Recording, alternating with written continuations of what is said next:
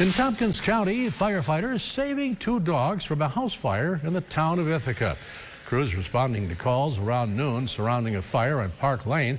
They were able to pull the two pups from the blaze and put out the fire within minutes.